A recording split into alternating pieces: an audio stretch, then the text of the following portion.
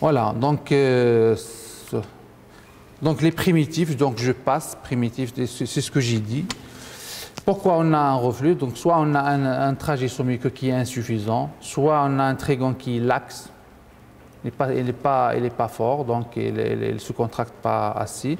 Soit on a une déficience des fibres musculaires de l'urtère terminale, mais surtout, surtout, le trajet semi-muqueux qui est court. Lorsque ce trajet semi-muqueux est court, ça donne un reflux et ceci est dû à une malformation, une malposition congénitale du bourgeon urétéral et de la jonction urétérovésicale. Donc euh, voilà. À l'endoscopie, donc euh, un MIA urétéral d'un reflux vésico-urétéral il paraît comme ça, il paraît comme un trou de golf qui ne se ferme pas. À gauche, c'est le normal. Donc, quand, on va faire une, réaliser une endoscopie, on va voir ces aspects-là. Donc, quand on a cet aspect de trou de golf, c'est un aspect de reflux. Et à gauche, c'est un aspect normal. C'est un, un MIA normal. Voilà, il y a donc un autre concept qui est très important et qui est toujours en, relation avec euh, ce, que j'ai dit tout à l'heure, c'est la maturation du système anti-reflux.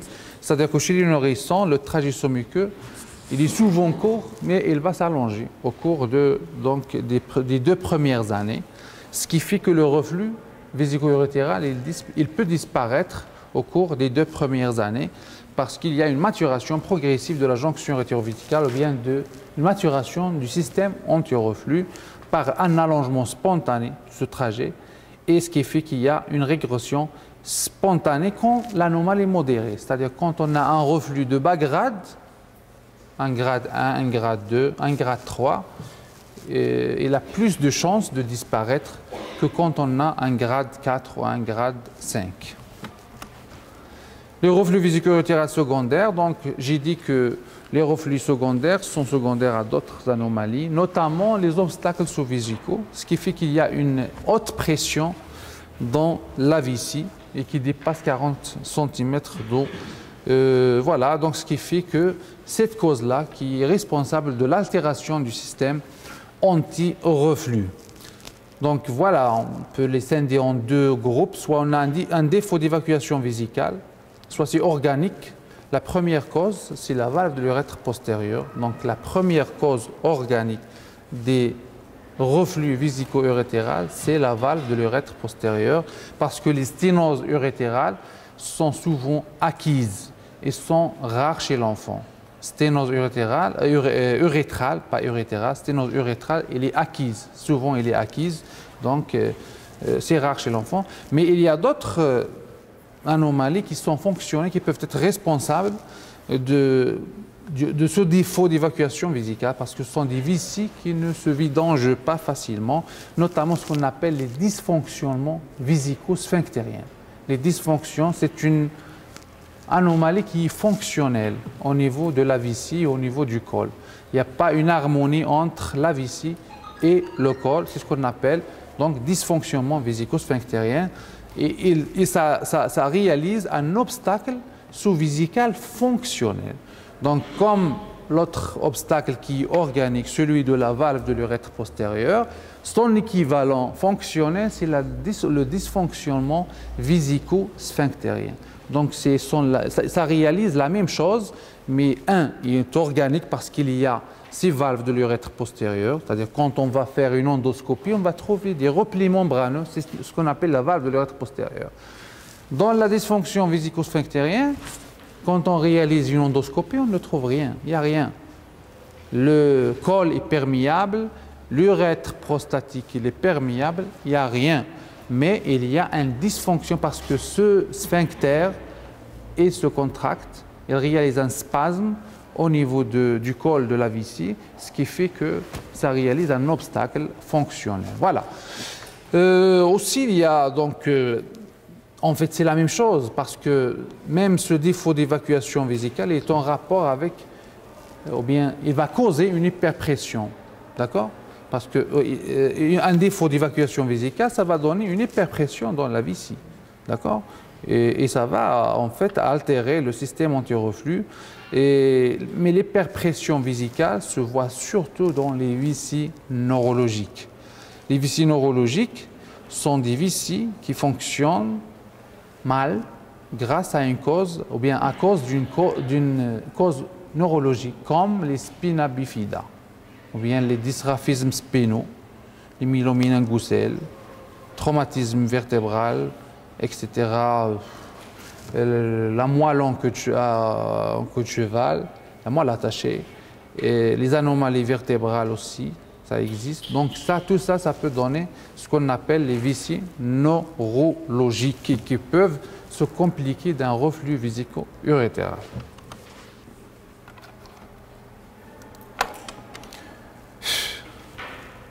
Ça se bloque des fois, ça se bloque. Oh là là.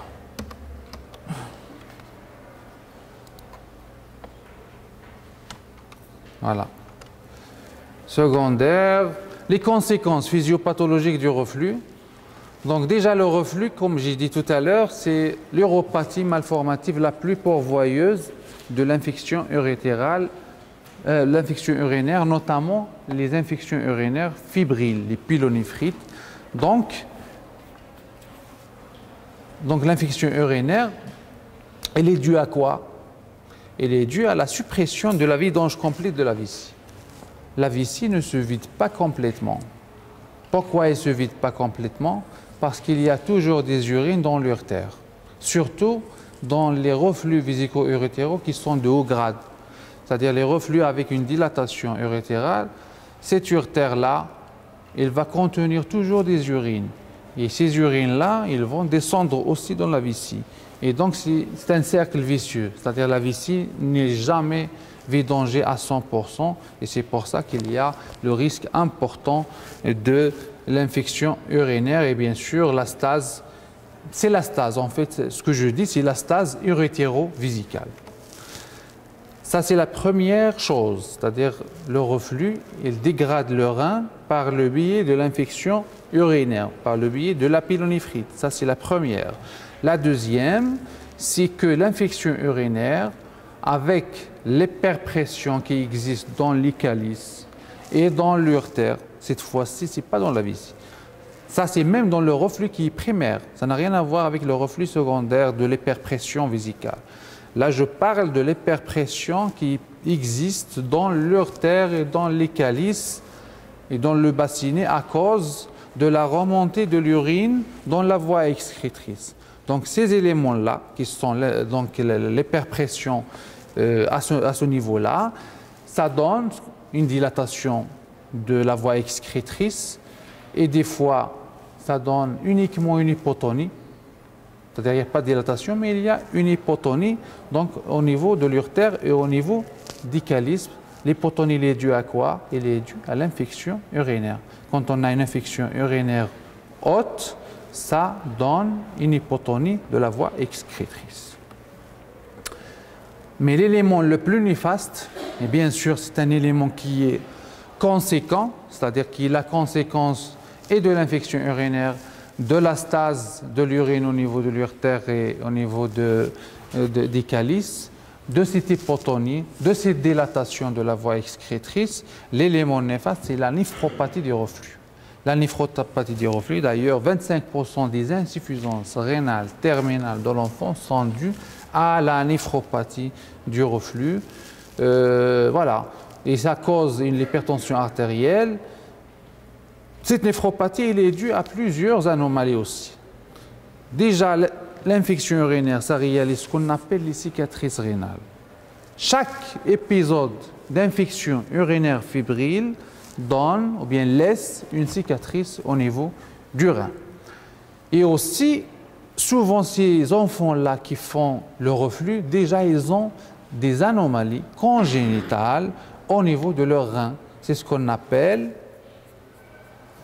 c'est ce qu'on appelle la dysplasie, la dysplasie rénale la dysplasie rénale, et qui ça donne ce qu'on appelle euh, la dédifférenciation rénale.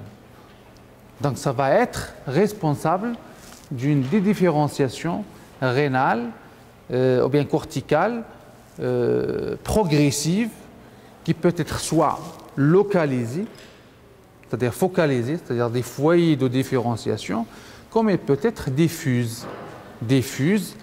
Donc, les différenciations qui sont focalisées sont dues aux cicatrices de la pylonéphrite. Et les différenciations qui sont diffuses sont dues à la dysplasie rénale congénitale, la dysplasie rénale congénitale. Donc deux choses, les cicatrices qui sont acquises par l'infection urinaire et deuxième chose, c'est la dysplasie qui est congénitale. Ce sont des reins qui sont anormaux congénitalement.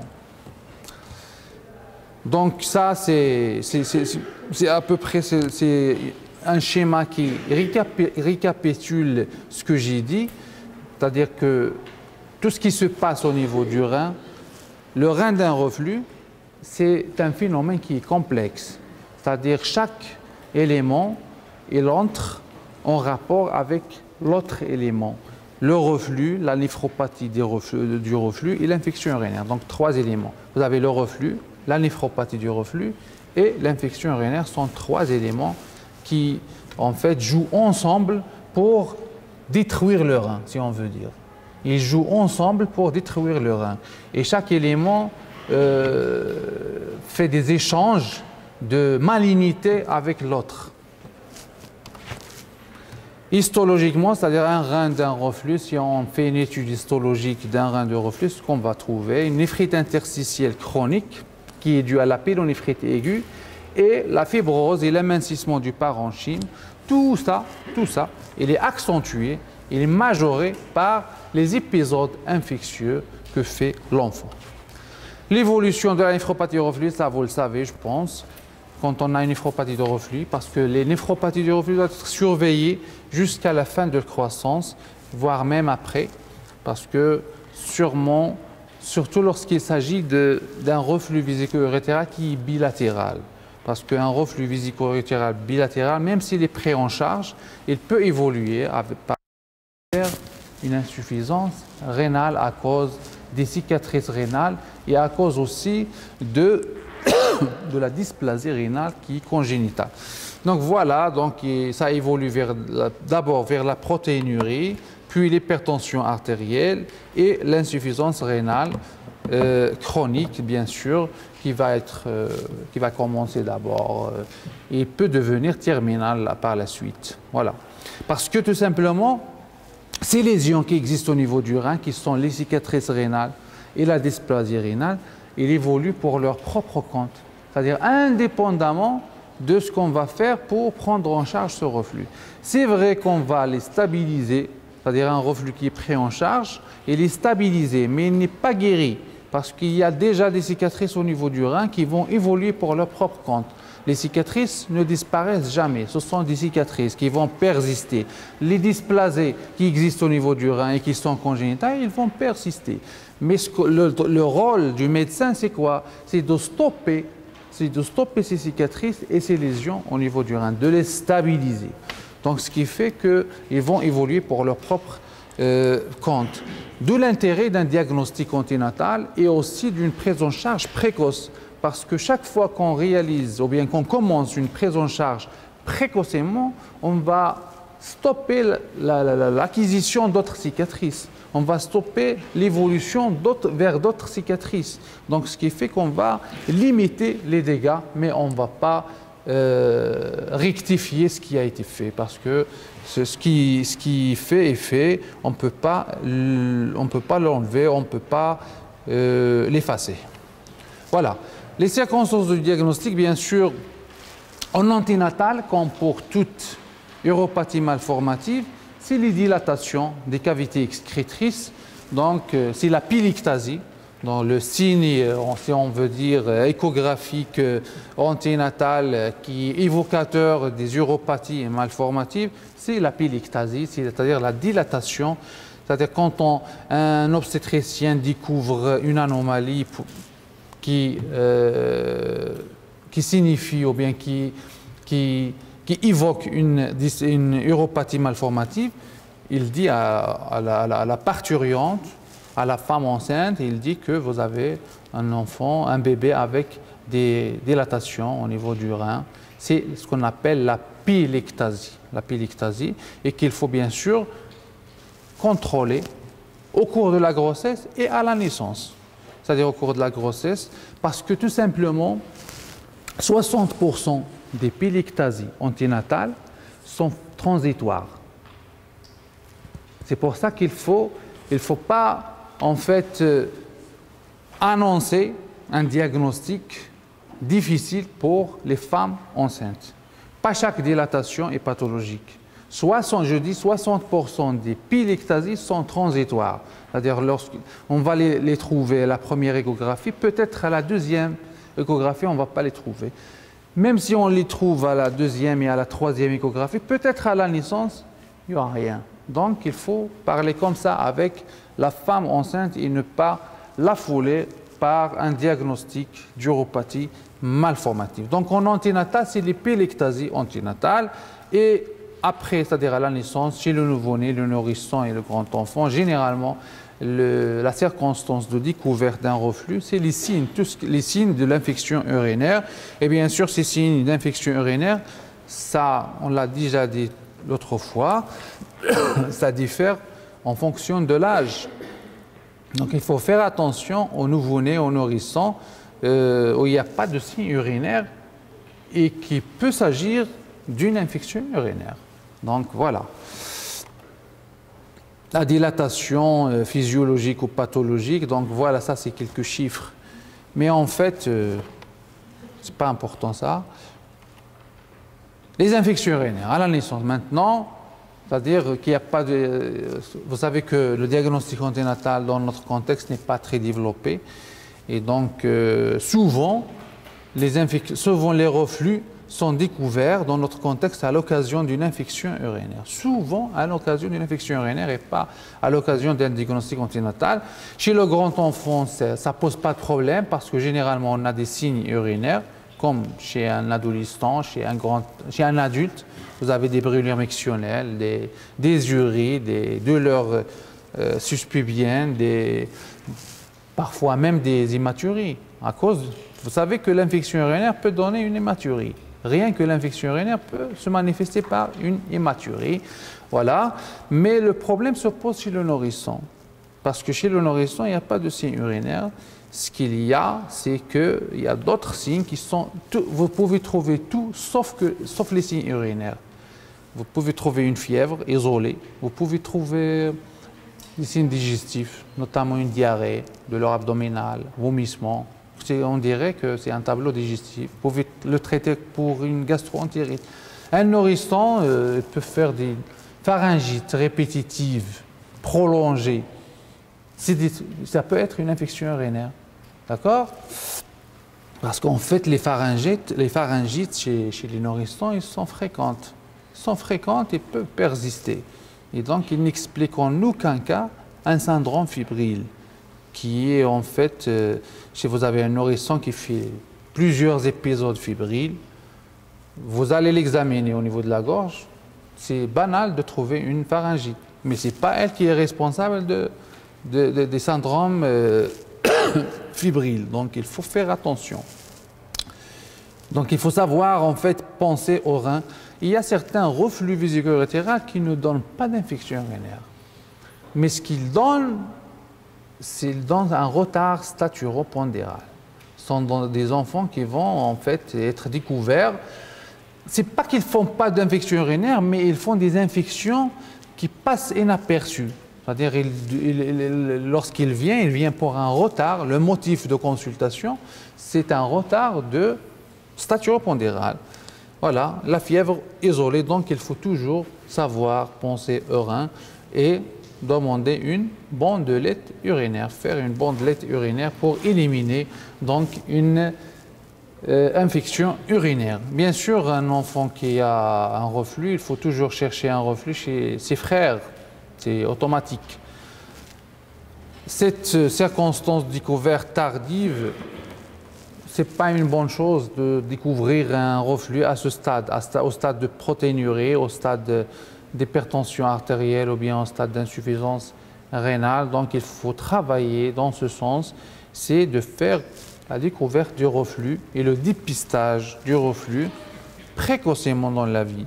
Chaque, c'est pour ça que je vous dis, chaque infection urinaire doit en fait déclencher une enquête de recherche d'un reflux vésico-urétéral.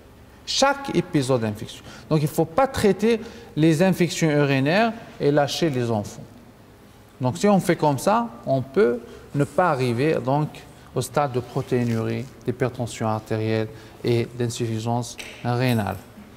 Bien sûr, ça vous le savez, dépistage de l'infection urinaire, la bandelette urinaire. Vous savez que les bandelettes urinaires, c'est très important. Hein? Ce n'est pas, pas quelque chose de banal. C'est quelque chose de facile. Ça fait partie de l'examen clinique, mais il résout beaucoup de problèmes. Pourquoi?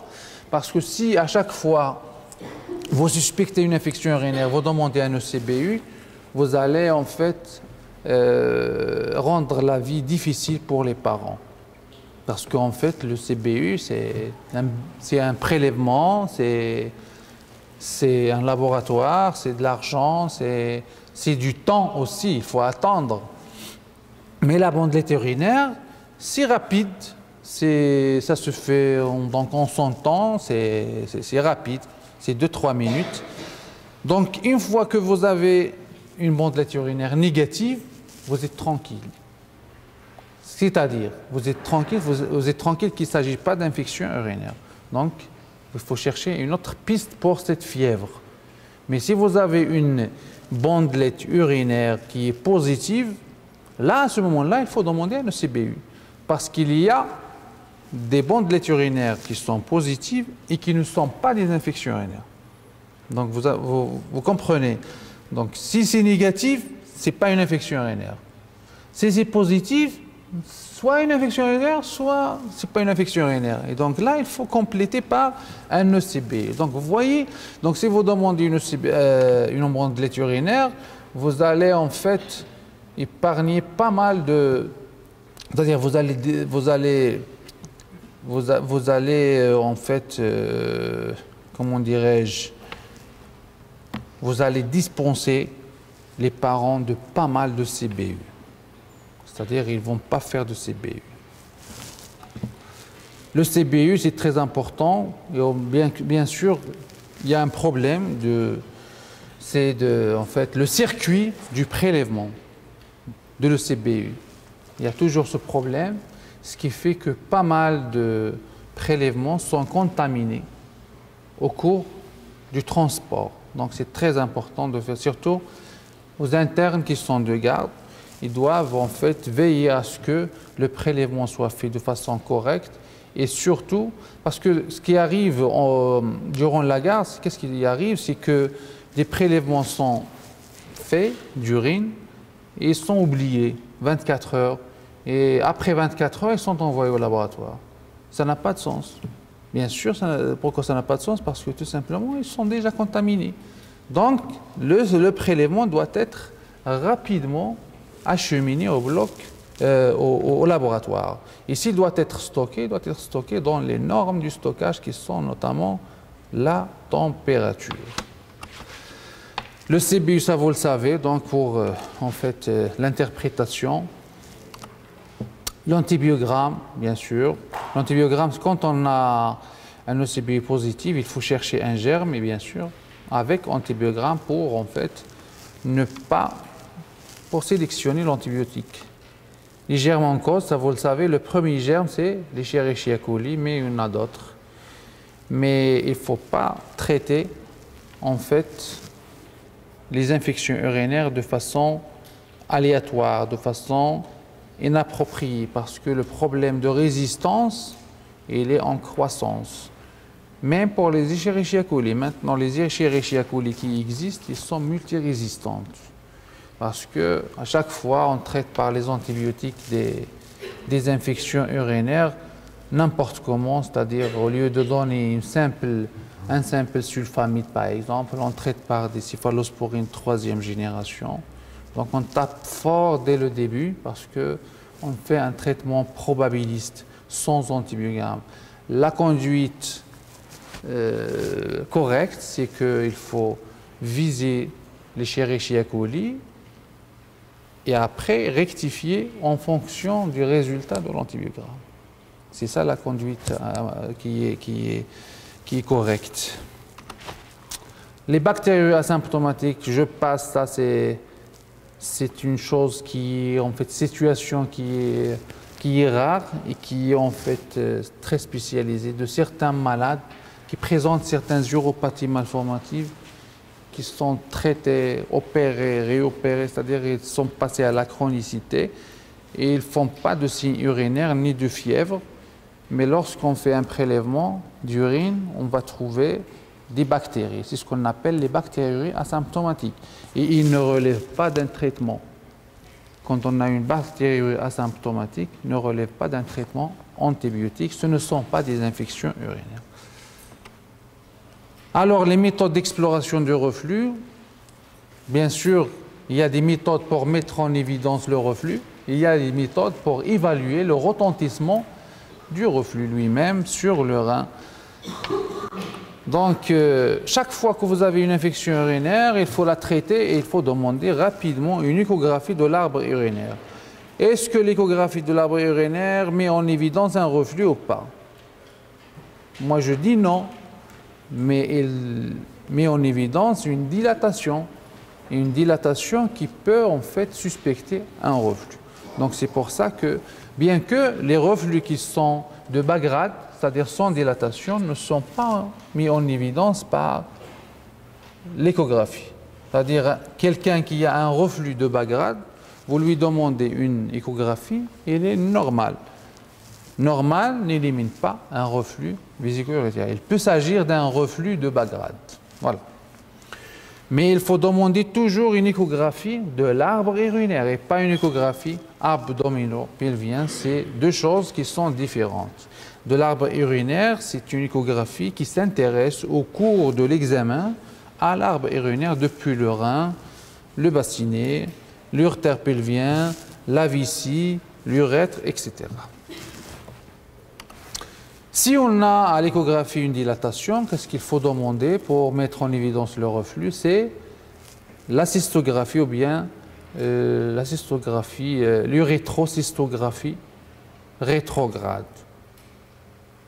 Rétrograde parce que l'opacification se fait par le mia urétral.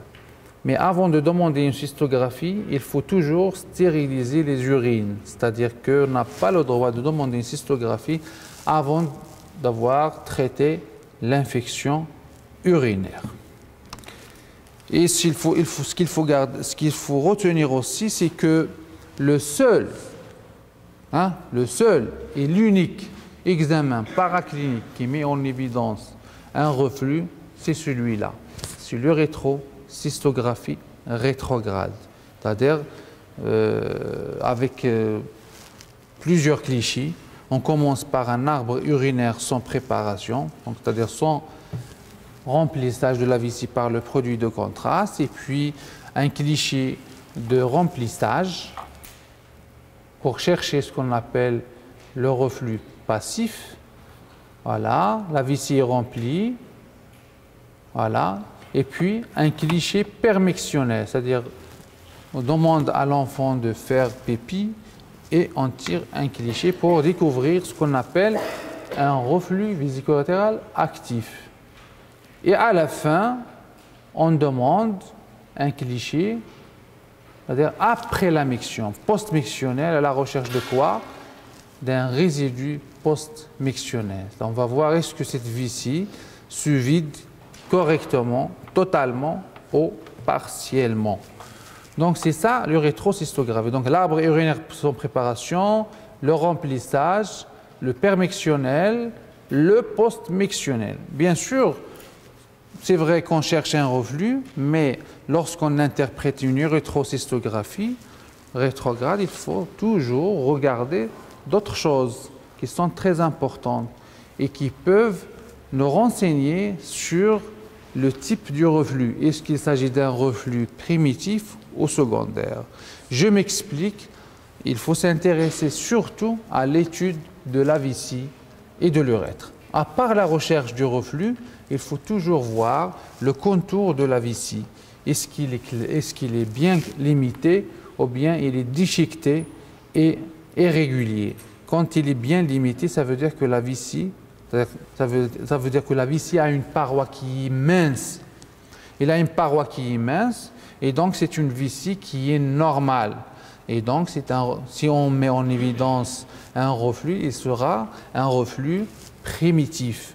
Mais lorsque vous avez des signes de lutte vésicale qui sont la paroi vésicale qui est épaisse et qui se manifeste sur le rétrograde cystograde par un aspect irrégulier et des fois diverticulaire de la paroi vésicale, là ça veut dire qu'il y a probablement un obstacle sous-vésical qui est au moins fonctionnel, c'est-à-dire qu'il s'agit au moins d'une dysfonction vésico-sphinctérienne.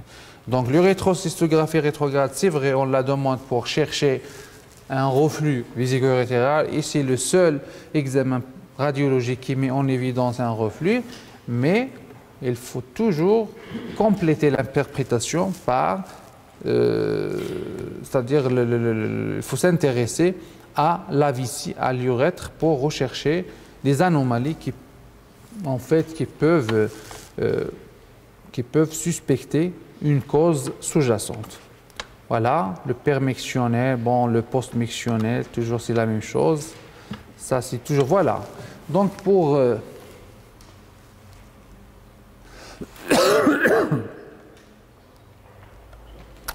voilà, donc les reflux, les reflux, bien sûr, il y a des types. Il y a une classification pour le reflux, le grade 1, le grade 2, le grade 3, le grade 4, le grade 5. Mais ce qui est important dans tout ça, c'est de scinder tous ces, grades en deux groupes. Les groupes de bas grade et les groupes de haut grade, parce que tout simplement, sont deux choses différentes. Les bas grades, ils disparaissent souvent, font moins d'infections urinaires, euh, ils sont moins nocifs pour le, rein. même si on est amené à les opérer, ils sont plus faciles à opérer. Et ça, ça peut faire l'indication d'un traitement endoscopique, c'est-à-dire sans intervention. Mais les hauts grades, c'est-à-dire avec dilatation, ils disparaissent moins, c'est-à-dire ils régressent moins spontanément. Ils sont pourvoyeurs de plus d'infections urinaires parce qu'il y a cette stase uritéro-vésicale, la dilatation, qui dit dilatation, dit stase urinaire, etc. Et aussi, leur chirurgie, elle est plus difficile et donc les résultats sont moins bons. Là, donc, euh, le grade 1, donc c'est ça. Le grade 1, c'est la remontée des urines uniquement dans l'urtère pelvien. Ça, c'est le grade 1. Mais dans ce cliché-là, j'ai mis ce cliché-là exprès parce qu'il comporte une autre chose, un autre signe. Voilà, là, c'est ça là, ce qu'on appelle un aspect irrégulier de la vessie. Donc là, c'est un grade 1 secondaire. D'accord? C'est un grade 1 secondaire. Là, rien que par le traitement de la cause, ce grade 1 va disparaître. D'accord? Le grade 2, c'est la remontée